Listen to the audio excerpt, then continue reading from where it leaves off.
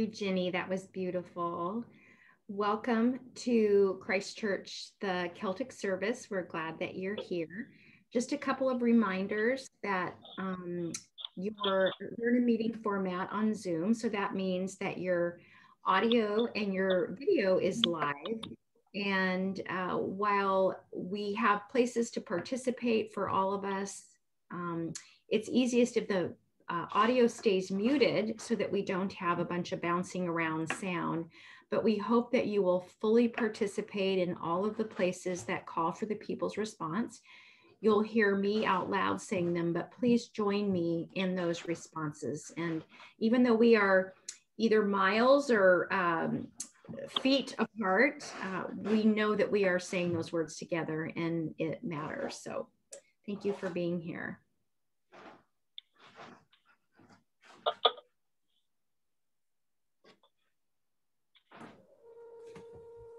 Word about today's second reading, which is the gospel for the day.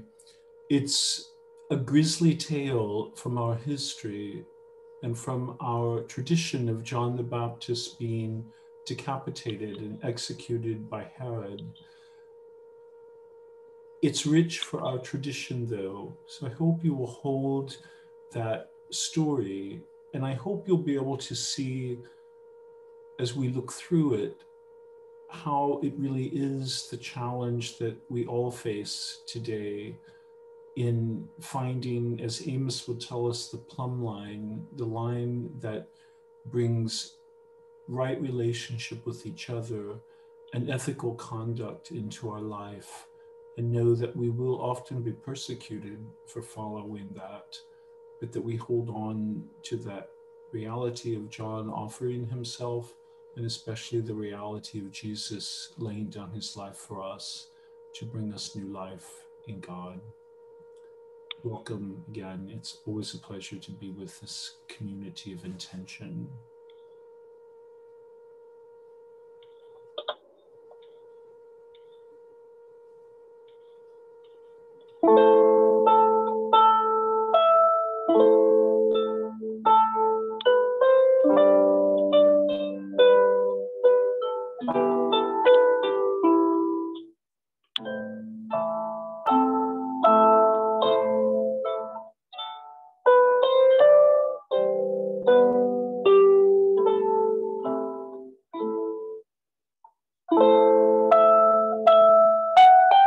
all.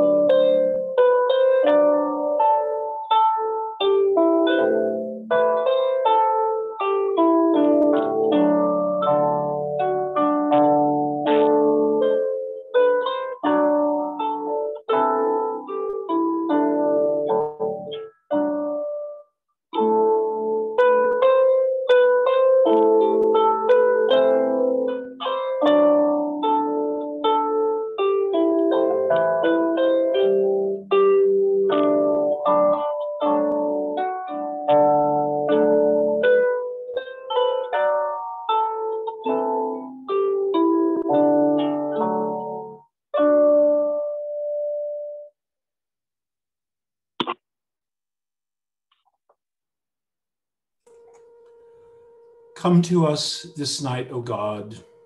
Come to us with light. Speak to us this night, O God. Speak to us your truth. Dwell with us this night, O God. Dwell with us in love. Thanks be to you, O Christ, for the many gifts you have bestowed on us, each day and night, each sea and land, each weather fair, each calm, each wild. Each night may we remember your mercy given so gently and generously. Each thing we have received from you it came. Each thing for which we hope from you from your love it will come. Each thing we enjoy it is of your bounty each thing we ask comes of your disposing. O God, from whom each thing that is freely flows. Grant that no tie over strict, no tie over dear, may be between ourselves and this world. Amen. I will listen to what the Lord God is saying for he is speaking peace to his faithful people and to those who turn their hearts to him. Truly, his salvation is very near to those who fear him, that his glory may dwell in our land. Mercy and truth have met together, righteousness and peace have kissed each other. Truth shall spring up from the earth, and righteousness shall look down from heaven. The Lord will indeed grant prosperity, and our land will yield its increase. Righteousness shall go before him, and peace shall be a pathway for his feet. O God, as these words are read, in our hearts may we feel your presence. A reading from Amos. This is what the Lord God showed me. The Lord was standing beside a wall built with a plumb line, with a plumb line in his hand. And the Lord said to me, Amos, what do you see? And I said, A plumb line. Then the Lord said, See, I am setting a plumb line in the midst of my people Israel. I will never again pass them by. The high places of Isaac shall be made desolate and the sanctuaries of Israel shall be laid waste, and I will rise against the house of Jeroboam with the sword. Then Amaziah, the priest of Bethel, sent to King Jeroboam of Israel, saying, Amos has conspired against you in the very center of the house of Israel. The land is not able to bear all his words. For thus Amos has said, Jeroboam shall die by the sword, and Israel must go into exile away from his land. Then Amaziah said to Amos, O seer, go, flee away to the land of Judah, earn your bread there, and prophesy there, but never again prophesy at Bethel, for it is the king's sanctuary, and it is a temple of the kingdom. Then Amos answered Amaziah, I am no prophet nor a prophet's son, but I am a herdsman and a dresser of sycamore trees. And the Lord took me from following the flock, and the Lord said to me, Go, prophesy to my people Israel. Hear what the Spirit is saying to God's people. Thanks be to God.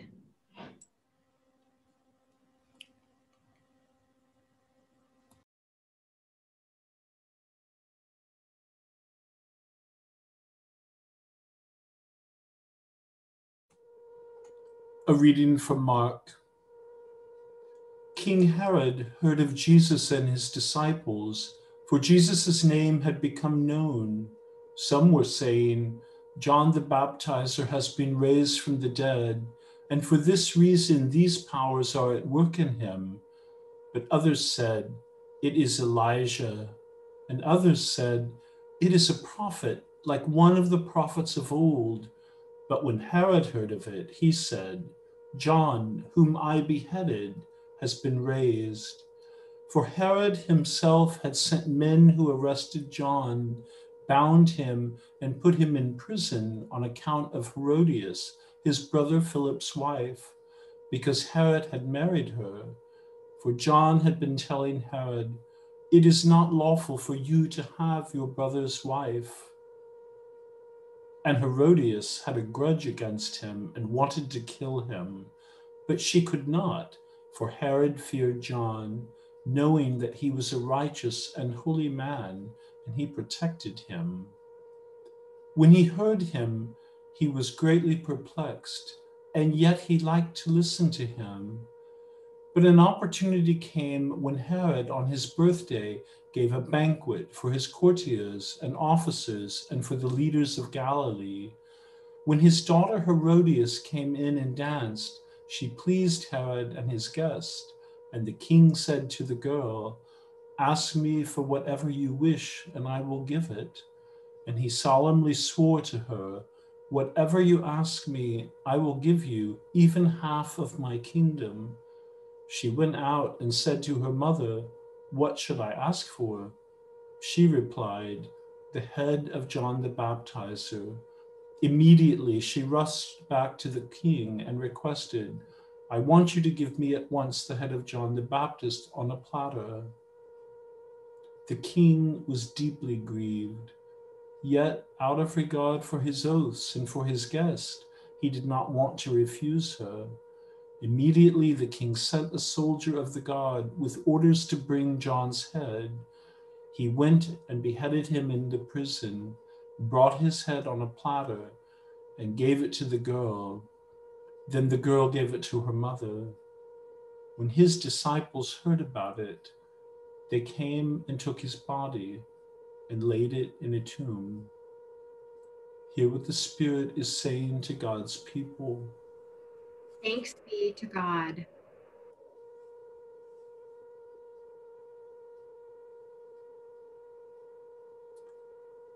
They brought the Baptist up from the jail. She danced the dance of the seven veils.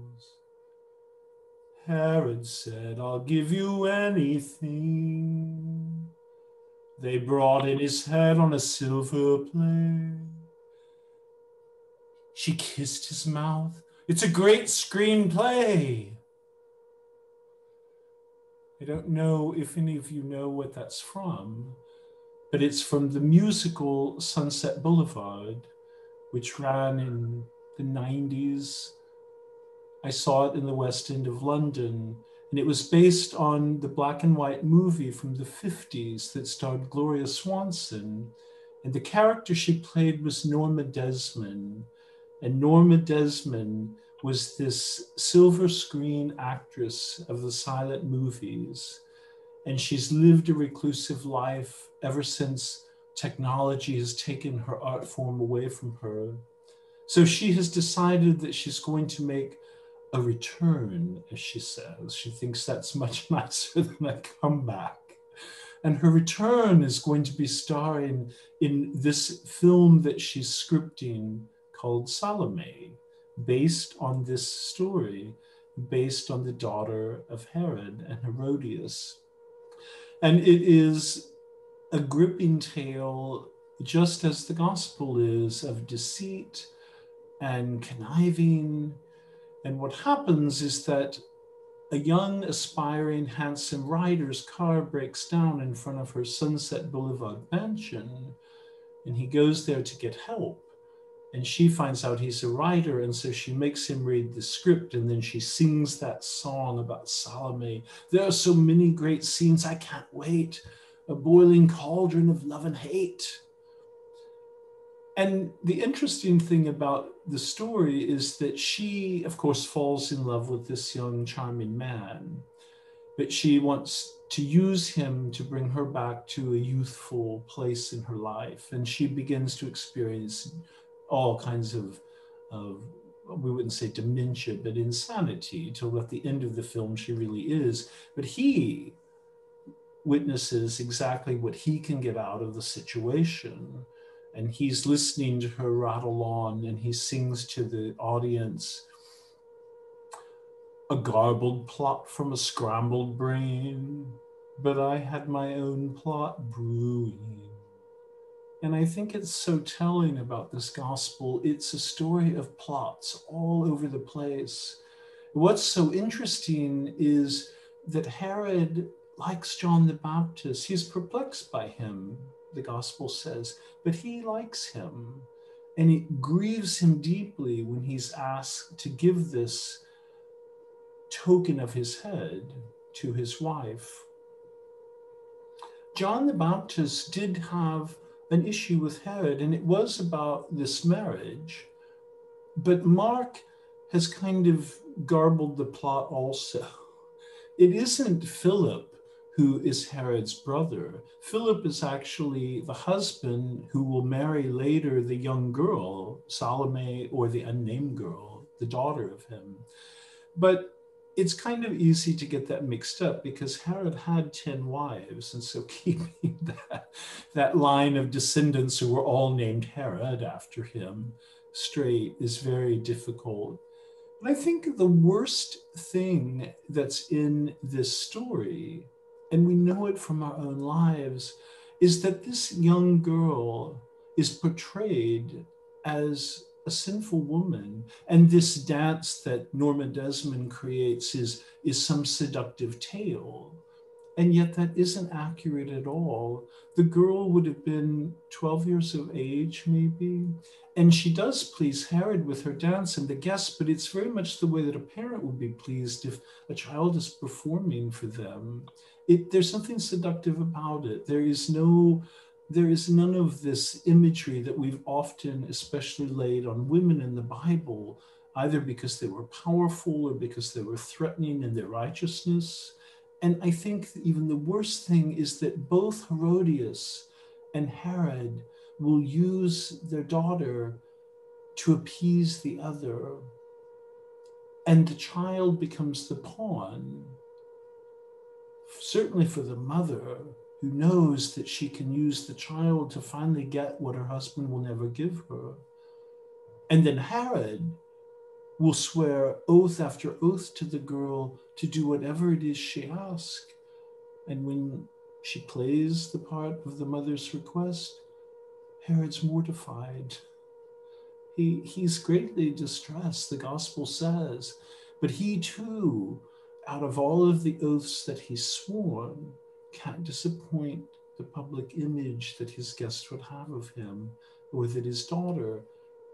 And he goes, I think, more than likely against every grain of his own integrity to save face, if you will.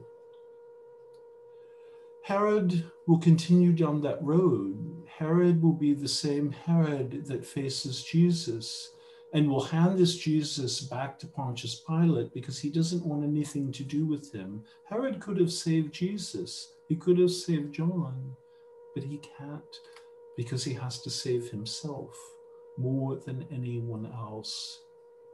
And this story, as you read it and reflect on it, is a parallel, really, of what will come to Jesus' disciples, how he'll be rejected, how he will be executed, and how the true disciples of Jesus, Nicodemus and Philip, Joseph of Arimathea, and the women will bury the Jesus, Jesus body in a tomb.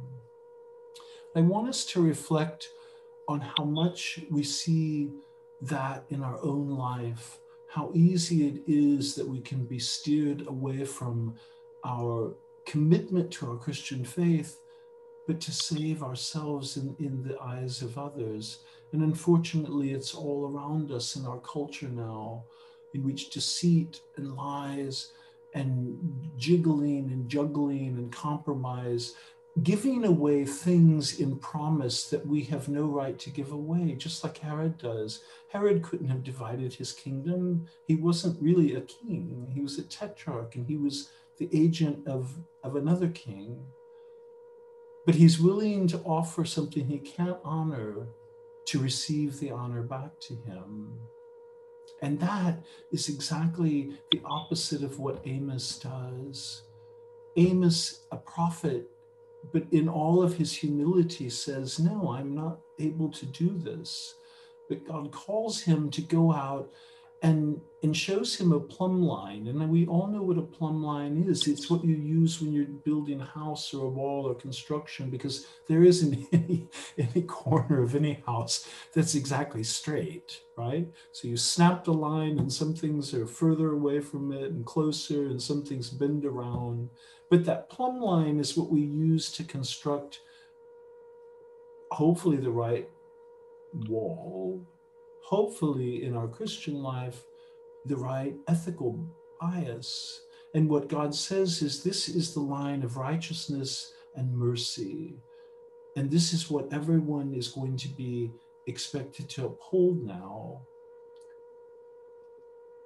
And we find ourselves having to lower ourselves sometimes to come to that plumb line because we become way too powerful and way too self indulgent.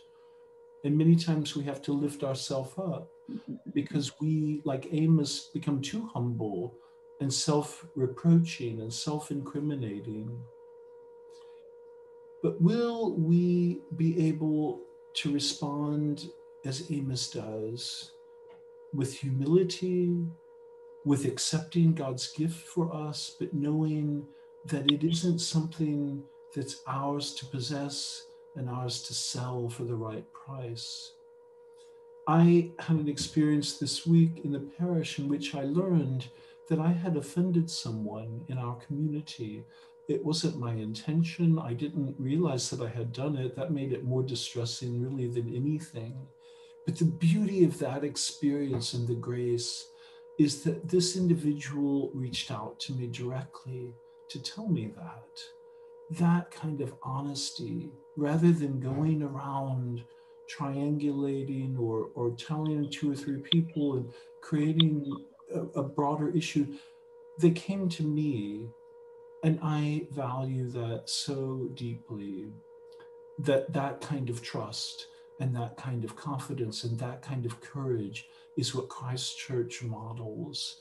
And if we do that, we are the plumb line then. We are striking the right line against which we can all be brought together as a community and not dispersed out of misunderstanding or out of malice or out of intentional conflict and hate. Will we be like John the Baptist and Jesus and Amos and reach out, offering our lives almost always so that someone else can be lifted up from their deaths and from their pain? Or we be like so many voices we hear in the world today, like Norma Desmond, Mr. DeMille? I'm ready for my close up. Amen.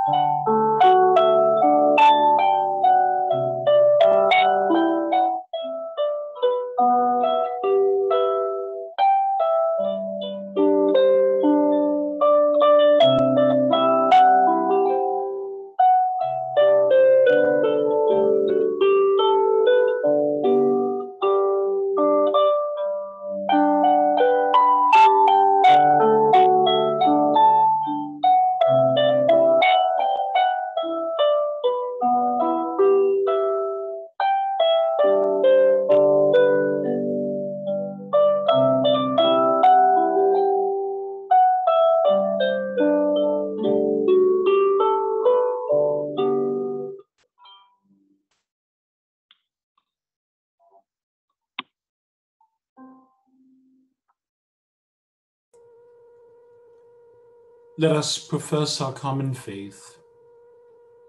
We believe, O God of all gods, that you are the eternal God of life. We believe, O God of all gods, that you are the eternal God of love. We believe, O God and maker of all creation, that you are the creator of the high heavens, that you are the creator of the deep seas that you are the creator of the stable earth. We believe, O God of all the peoples, that you created our souls and set them warp, that you created our bodies and gave them breath, that you made us in your own image. We are giving you worship with our whole lives. We are giving you assent with our whole power. We are giving you our existence with our whole mind. We are giving you kneeling with our whole desire. As our Savior Christ has taught us, we now pray.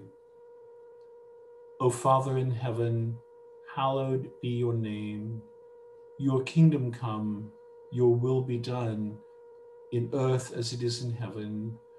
Give us today our daily bread Forgive us our sins as we forgive those who sin against us.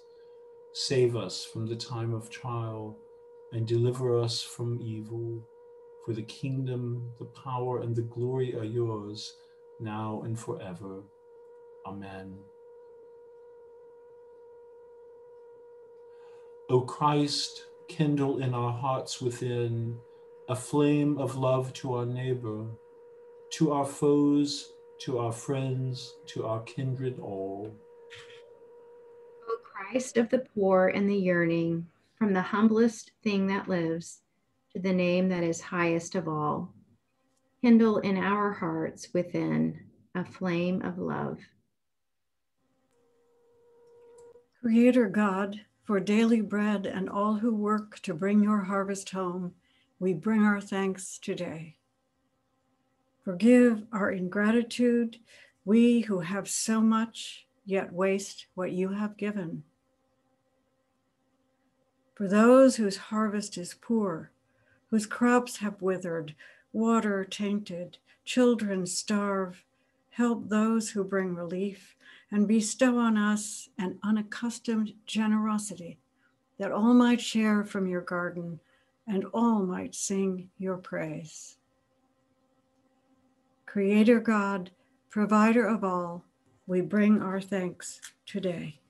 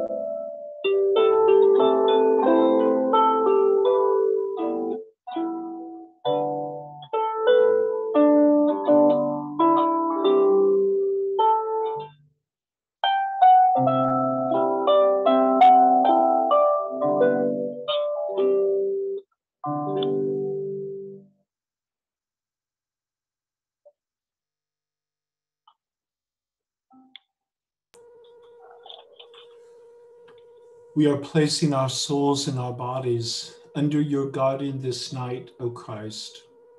Son of God, be this night both light and shield. Amen.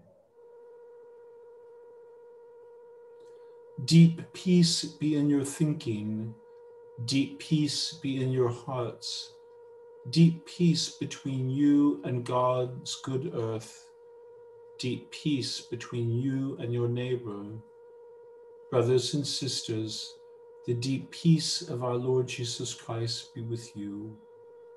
And also with you. Peace to all.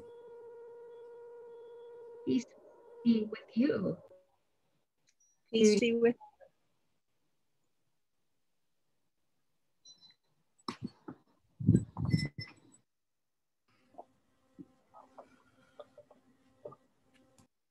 In gladness, we present the offerings and oblations of our life and labor to the Lord.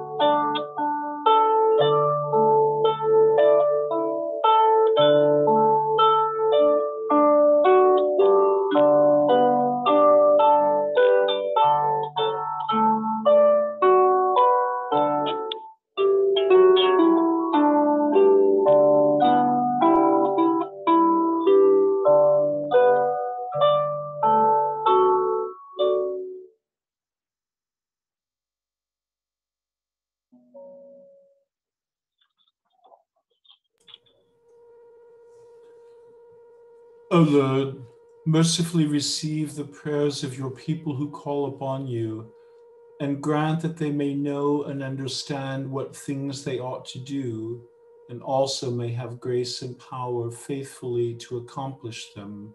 Through Jesus Christ our Lord, who lives and reigns with you in the Holy Spirit, one God, now and forever. Amen.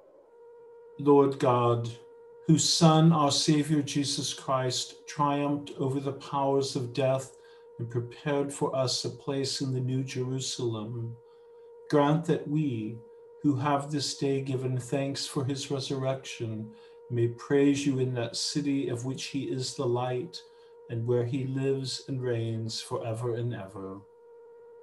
Amen. Most holy God, the source of all good desires, all right judgments, and all just work, give to us, your servants, that peace which the world cannot give, so that our minds may be fixed on the doing of your will, and that we, being delivered from the fear of all enemies, may live in peace and quietness through the mercies of Christ Jesus our Savior. Amen.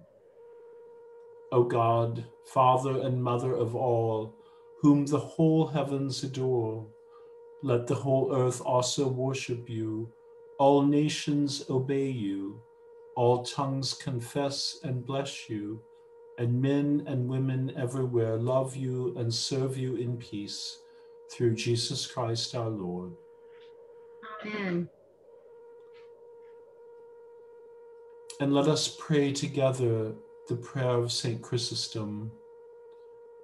Almighty God, you have given us grace at this time with one accord to make our common supplication to you and you have promised through your well beloved Son that when two or three are gathered together in his name, you will be in the midst of them. Fulfill now, O Lord, our desires and petitions as may be best for us, granting us in this world knowledge of your truth, and in the age to come, life everlasting. Amen. Lord, you now have set your servant free to go in peace as you have promised.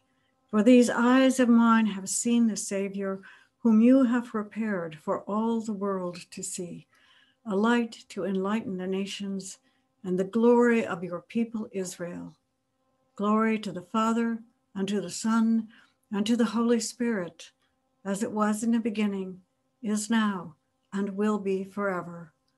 Amen. Heaven is intertwined with earth. We have taken divine life into ours. Let us pray. We rise up today clothed in the strength of Christ.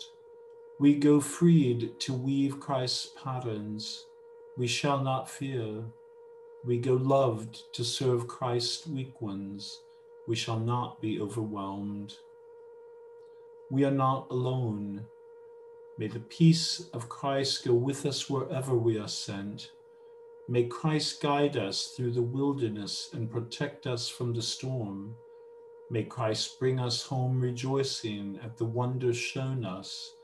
May Christ bring us home again, rejoicing into our doors. May the blessing of God Almighty, Creator, Redeemer, and Sanctifier, be upon you this day and remain with you always.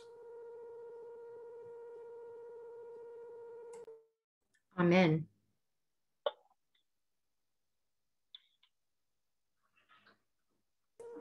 Go in peace to love and serve the Lord.